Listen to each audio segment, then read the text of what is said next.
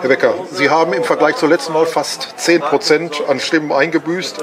Wie groß ist die Erleichterung, dass es trotzdem zum Direktmandat gereicht hat? Ja, die Erleichterung ist äh, natürlich riesengroß. Ich habe zwar nicht äh, ernsthaft damit gerechnet, dass äh, der Wahlkreis sozusagen in Gefahr gerät, aber ähm, er tröstet nur schwer darüber hinweg, dass das ein schwerer Abend, ein schlechter Abend für die SPD in Nordrhein-Westfalen ist. Mit welchen Gefühlen fahren Sie morgen nach Düsseldorf in die Landeshauptstadt?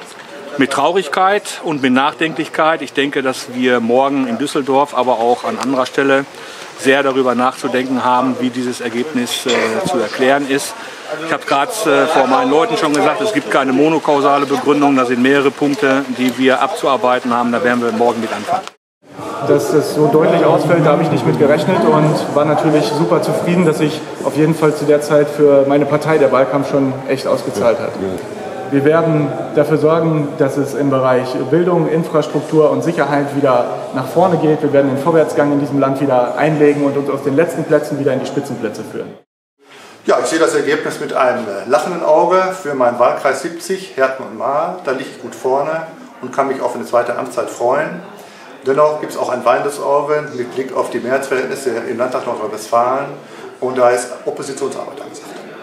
Ja, das ist der Landesdurchschnitt, das ist ein Hinweis darauf, dass sozusagen die politischen Verhältnisse sich geändert haben. Das muss man sehen und wir sind da in Herten und in Mahl eben keine Ausnahme. Von daher nehme ich das zur Kenntnis und das ist sozusagen für mich auch ein Anreiz für die nächsten Jahre, noch stärker meine Themen, die ich ja auch vor der Wahl äh, formuliert habe, in den Vordergrund zu bringen.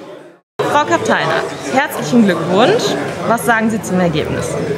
Ja, erstmal Dankeschön. Äh, ich hoffe, es bleibt jetzt so. Wir sind ganz zum Ende ausgezählt.